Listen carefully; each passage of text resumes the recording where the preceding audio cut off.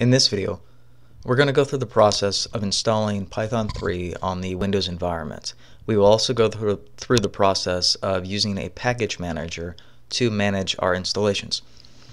So first what you need to do is open up a browser and then go to this address which is cmder.net. Scroll on down and then click on download full. This will download a zip file. Should take you anywhere between 10 to 30 seconds or so to download.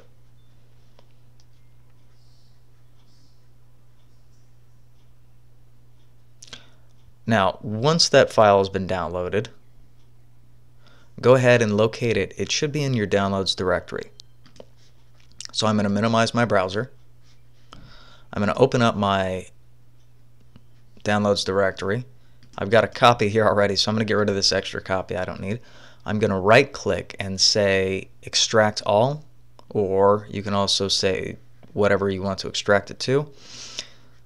Now, uh, you can wait for it to extract. It'll take you between one, two, three, four, five minutes, depending on the speed of your computer. Once it's been extracted, go ahead and you can remove the zip file.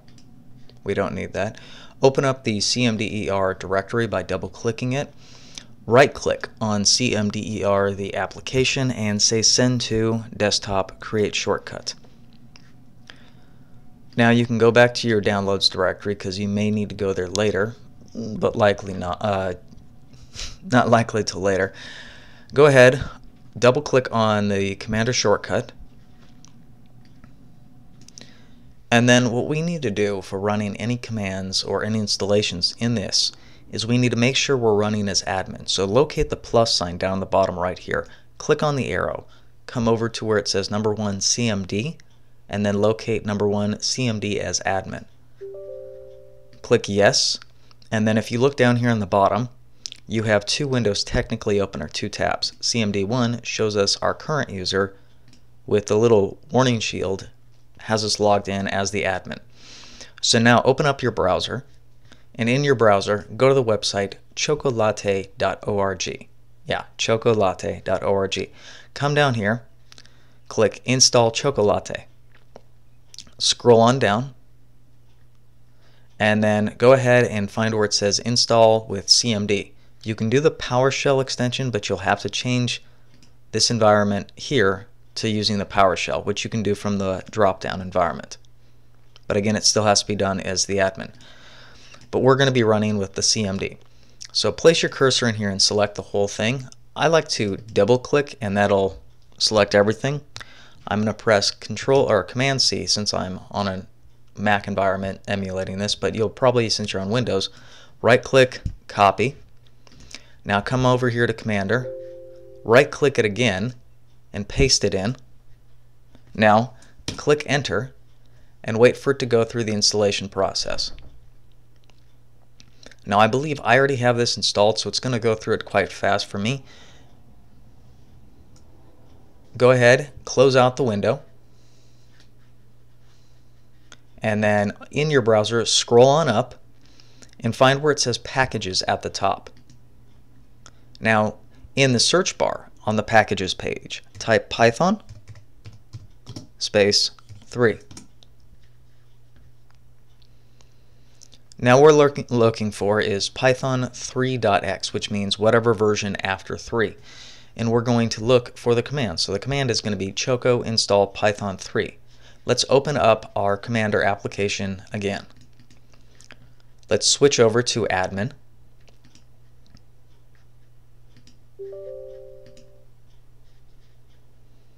And then let's minimize this window so we can see what the command was. And go ahead and follow along with me and type this command.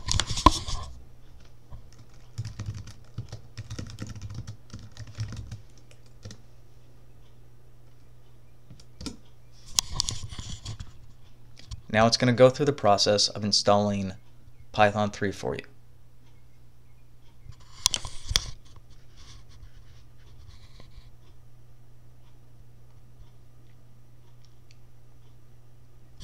It says, do you want to continue? type Y for yes. If you type no, it will not install Python.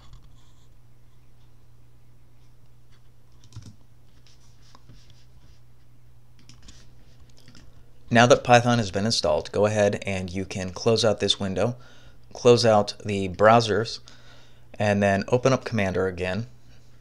The reason why we're closing and reopening is to do a simple refresh so that the program knows to, if any commands have been run, we want to start a new. We could have opened up a new window too, but this works just as well. Type python dash dash version. And there we go. It shows that Python has been installed for us. That's how you install Python.